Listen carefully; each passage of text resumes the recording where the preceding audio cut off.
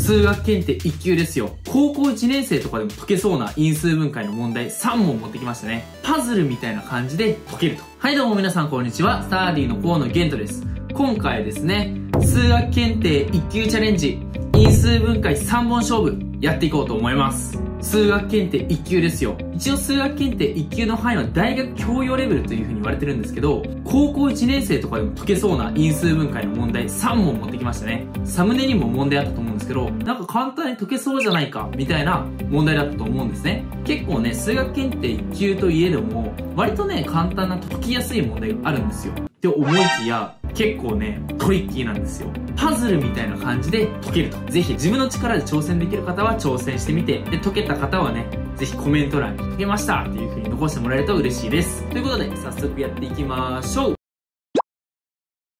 はい、それではやっていきましょう。数研究チャレンジ、因数分解3本勝負ですね。はい、3問こちら。ぜひね、腕に自信ある方はやってみてください。まず2010年の x6 乗マイナス -14x4 乗プラス 17x2 乗引く4を因数分解。x5 乗 -x4 乗 -1 を因数分解。次、x4 乗 -4x-1 イコール0の解をすべて求める。これまあ因数分解せよっていうのと同じですね。この3問に挑んでみたいと思うんですが、この3問、丸1が一番簡単で、丸2が中くらい、丸3がね、かなり難しい問題になっているので、これとかね、なんか簡単そうじゃんって思いきやね、結構難しいんですよ。だから、まあこっから順に解説していく中で、あ、因数分解ってこんな方法があるんだなっていうのを確認してもらえたらいいかなと思います。それでは早速やっていきます。丸1、x6 乗 -10x4 乗プラス 17x2 乗マイナス -4。これはですね、見たときに、まず思ってほしいのが、ん？全部 x の2乗、肩2乗ってんなっていうことですよね。x2 乗、ラージ x を置いてあげると、ラージ x3 乗マイナス -14 ラージ x2 乗プラス17ラージ x マイナス4になるわけですね。あとはこいつを因数分解できないかなって考えるときに、3次以上のものだったら、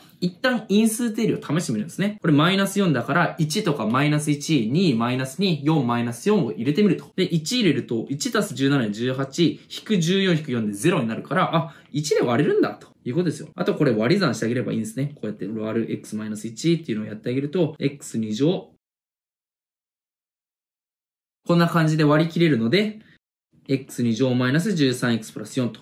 で、このままだと行き止まりですね。だから、スモール x に戻してあげると。あとは、この中で因数分解してあげればいいんですけど、ここで左側の方は簡単ですね。で、あとこっちの方を残り因数分解してあげたいんですけど、これ、複二次式ってやつですよね。これ、高校1年生の因数分解でも品質。複二次式。要は x2 乗を塊、ラージ x としておくと、こういう感じで2次になると。で、この二次関数になっても、これ因数分解にできないんですね。で、複二次式の因数分解の方法って2パターンあったんですよ。1パターンが x2 乗をラージ x を置く。で、2パターン目が2乗引く2乗の形を作るですよね。今回こっちが使えないかなっていうことを確認すると、x4 乗 -13x2 乗プラス4。この x4 乗プラス4を見てあげて、x2 乗プラス2の2乗か、x2 乗マイナス2の2乗か、どっちかを試してあげればいいと。じゃあ、1回 x2 乗マイナス2の2乗をやってあげると、これ x4 乗マイナス 4x2 乗プラス4ですよね。だから、マイナス 13x2 乗を作るには、さらにマイナス 9x2 乗を作ってあげればいいと。で、これがちゃんと 3x の2乗になってる。っていうことで、2乗引く2乗っていう風のが作れたので、ちゃんと無事因数分解ができるようになって、ワト差の積積ですね。x2 乗引く2足す 3x と x2 乗引く2から 3x を引いたものですね。こういう風になるわけです。で、これ以上、もうこれは因数分解できないわけですね。整数係数の範囲では。よろしいですかね。まあ、とりあえず、今回は、x2 乗をラージ x っていう風に置けると。で、置いてあげて、まずは、因数定理で因数分解、これ以上行き詰まったから x2 乗戻してあげる。で、こっちの因数分解が困るんですが、複二次式っていうパターンのうちの二つ目、2乗引く2乗っていうものをちゃんと意識してあげれば問題なくできる問題でした。これが数研究の因数分解ですね。こっからね、難しくなってきますよ。これはね、もう数研1級の中でも割と難しい因数分解なのでね、こっから早速やっていきます。x5 乗マイナス x4 乗マイナス1を整数係数の範囲に因数分解せよ。この問題、最初はご利用しでちょっと説明していこうと思うんですけど、後で、すっきりと一発でね、一行でできる方法も紹介していくので、最初はご利用していきます。なるほど。うーん、あ、塊として置けないのか ?x2 乗イコールラージ x がなんか塊として置けないな。じゃあ、とりあえず因数定理ですよね。で因数定理でここの定数項とかマイナス1だから、1かマイナス1を入れて、どっちもダメだったらもうダメなんですよ。1入れたら1引く1引く1でマイナス1と。マイナス1入れたらマイナス1引く1引く1でマイナス3と。あ、もうダメだ。だから、もうここで行き詰まるんですよ。じゃあ何を考えてあげればいいかっていうと、この形、要は、因数定理がうまくいかないっていうのは、一次式で割れないってことですね。つまり、割れるとしたら二次式以上ですよ。これ五次式じゃないですか。5次式を2次式で割ったら3次式ですよね。だから、まあ、3次式で割ったら2次式で、4次式で割ったら1次式、みたいなことを考えると、結局2次式かける3次式になるんじゃないかというふうに予測が立つわけですよ。こういう風に因数分解できるんじゃないかなと予測が立つわけですね。じゃあ、あとは二次式かける三次式っていうもののフォーマットに当てはめてあげればいい。この x5 乗っていうものを見てあげて、まあ、二次式かける三次式って言ったら、こう ax2 乗プラス bx プラス c と dx2 乗プラス ex プラス f あ、3乗か。足す fx プラス g っていう風に置けるはずなんですが、まあこの x5 乗の係数を考えてあげると、a と d が1の場合だけ考えればいいですよね。で、かつ、ここのマイナス1っていうとこ注意してあげると、C と G が1マイナス1かマイナス1かのどっちかのパターンであればいいと。まあ、要するに、2パターンあるんですね。x2 乗プラス px プラス1かける x3 乗プラス 9x2 乗プラス rx マイナス1がはたまた、このマイナス1とプラスマイナス1が入れ替わったバージョン。このどっちかに因数分解できるんじゃないかと。いうことがわかるわけですよ。あとはこれを展開してあげて係数比較。これ実際展開してあげると、このように展開できるので、あとは係数比較をしてあげると。ここで注意しなきゃいけないのが、x4 乗、x3 乗、x2 乗、x の4つで係数比較するわけですね。で、文字が3つと、あれ ?3 つの文字に対して4つの式って、あれ？っていうことですよね。式が多いんじゃないか。そうなんですよ。式が多いんですよ。要は、3つの式であれば十分だけど、4つ式があるっていうのは、3つの式で PQR を求められる。で、4つ目の式に入れた時にうまく成り立たないかもしれないってことですよ。だからその場合っていうのは、この PQR がそもそも存在しませんっていう可能性を秘めてるよっていうことを言ってるわけですね。だって、そりゃそうですよね。絶対因数分解できるとは限らないので。じゃあ、実際に係数比較すると、p プラス q イコールマイナス1、pq プラス r プラス1イコール0。で、q プラス pr-1 が、これも0ですね。で、r-p も0というわけですね。じゃあ、あとこれを解いていけばいいんですけど、ポイントとなってくるのが、一文字消去、文字を消去していくと。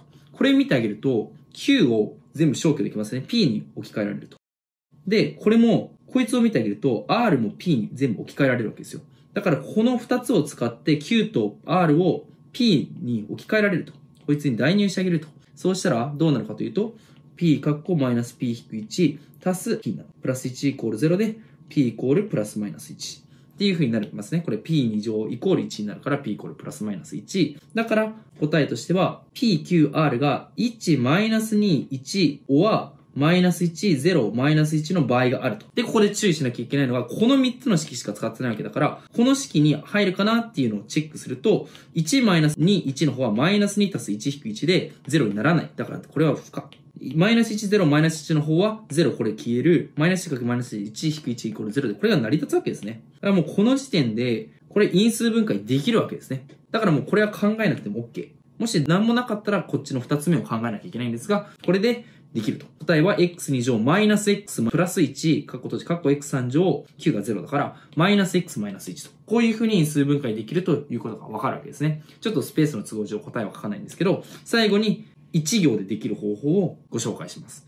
x5 乗引く x4 乗引く1をどういうふうに見るかというと、これを見通しを良くっていうか、うまく因数分解するために同じものを足して引くっていうことをやると。これって複二次式のここのマイナス 13x2 乗を分解してマイナス 4x2 乗とマイナス 9x2 乗に分解したみたいなノリですね。これもうまいものを見つけてきてあげると。これ x5 乗引く x4 乗。今回は足す x3 乗と引く x3 乗。ここで作ってあげると。あえて。そうすることによって、ここの部分が x3 乗、括弧 x2 乗引く x プラス1になると。あと、ここの部分がマイナスでくくったら3乗足す3乗の形ですね。だからこういう風に変形できる。よって答えは x2 乗引く x プラス1でくくれるから、ここに共通因数があるから、こういう風にできると。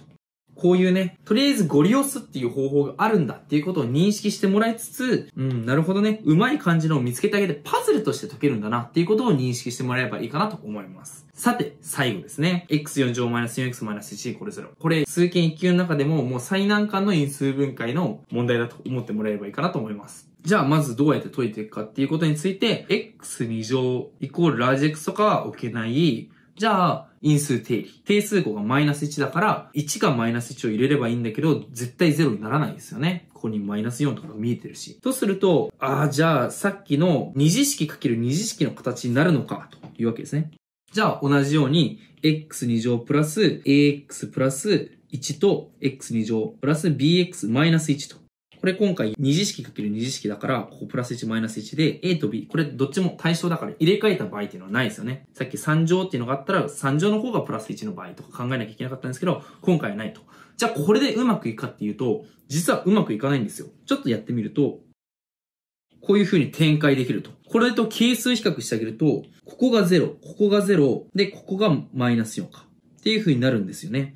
で、足して0、かけて0っていうのは、A も B も0の場合ってことですね、これ。こっからわかるのが、A イコール B イコール0と。で、これ代入してあげると成り立たないんですよ。ってことは、こういう風に因数分解もできませんっていうことを表してるんですね。お、じゃあ二次式かける二次式にすんのもダメなんだ。あれ？因数定理もできない。二次式かける二次式もできない。じゃあどうすんのっていう話なんですよ。じゃあもう因数分解できないのかって言われると、実は因数分解できないわけじゃないんですね。これ二次式かける二次式でうまくいかなかったっていうのはどういうことかというと、少なくとも一つ言えるのが、はい。整数係数の範囲では因数分解できませんよっていうことがわかるんですね。だから、実は別の整数を超えていけばいいんじゃないかと。で、ちなみになんですけど、これ、例えば有理数の範囲で因数分解できるとするじゃないですか。その場合、元の正式が全部係数が整数である場合は、これ結局有理数っていうものは、有理数の範囲で因数分解できるのであれば、それ全部整数係数でできるっていうことが知られてるんですね。この証明はちょっと割愛しますが、つまり整数係数の範囲では因数分解できないっていうのは、もっと広げて言うと有理数の範囲で因数分解はできませんと。有理数の範囲で因数分解できるんだったら、これ整数係数なんだから全部整数係数の範囲に因数分解することになるはずだっていうことなんですよ。ということは、無理数が出てくるんですよ、ここに。だから、プラス1とかマイナス1とか、これ考えてたと思うんですけど、プラス1、マイナス1、これが置けないと。ここに無理数とか入ってくるかもしれない。まあ、例えば、ルート2とルート2分の1とかね。あ、マイナスルート2分の1か。そしたらかけてマイナス1になるわけじゃないですか。っていうことですね。じゃあ、あとは、これをどういう風に考えていくか。もう、あとはね、パズルなんですよ、パズル。これをパズルとして解けばいいと。いう感じですね。うん、パズルか。どうやってやればいいんだろうっていうことで、ちょっと思ってほしいのが、2乗引く2乗をなんとか作ってあげると。要は2乗引く2乗っていうものを考えてあげると、x4 乗と、うん、これに何をすればいいのか。だから要は、うまい具合に、この x2 乗の項を作ってあげると、x4 乗となんかの x2 乗の項と定数項の部分で、ここで x2 乗プラスなんとかの2乗が作れる。で、しかもなんとか2乗やってあげるんだったらなんとか2乗引かなきゃいけないんですよね。で、引く 4x プラスまたここのなんかよくわかんないところ。で、ここの部分で2乗っていうものがうまく作れる何かがあれば、2乗引く2乗が作れるんですね。っていうものをなんとなく思ってあげると。そうするとこれが出てくるんですよ。これ難しいですよね。2x2 乗っていうものを1個出してあげる。そうすると、まあ、ここの定数が必然的にプラス1になりますね。で、残りを調整してあげると、お、あ、ここがマイナス出してあげると、まあ、要は、x2 乗プラス1の2乗と、引く、これ、2カッコ x プラス1の2乗になってるんですね。これで無事、因数分解できる。え ?2 って何とかの2乗じゃないじゃん。それは当たり前なんですよ。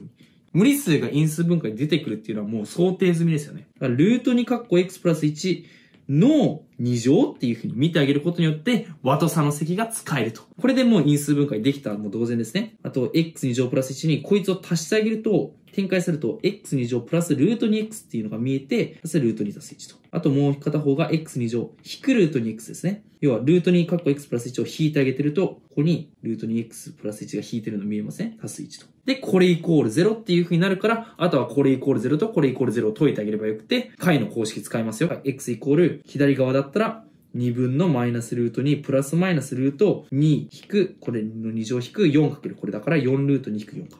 と、こっち側は、え、2分のルート2プラスマイナス、え、ルート2プラス4ルート2引く4なのかなよろしいですかね。